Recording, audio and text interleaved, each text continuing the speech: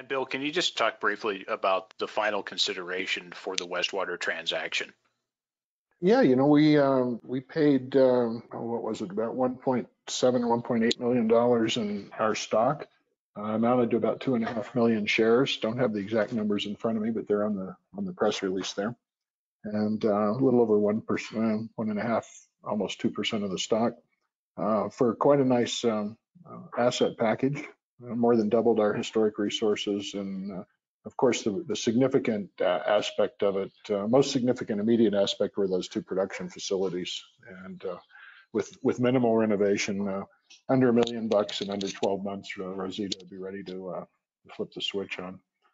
It's been maintained very well and, and renovated, so we're we're quite happy about that, and and obviously even happier in that the share price consideration was based on the closing price of the enCore shares uh, rather than when we announced it. Uh, when we announced it, we were at about 35 cents, if I'm not mistaken, 34, 35 cents. The transaction was priced at 89 and a fraction, so a little over 89 cents, those being Canadian numbers.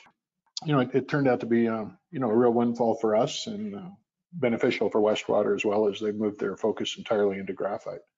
A win-win situation and uh, certainly gives us a, a great platform to uh, advance the uranium now. Yeah, big difference in the share price uh, just between the announcement and the closing. So uh, good on you on that part of it and, and how you guys structured that. I think it worked out to to your guys' benefit.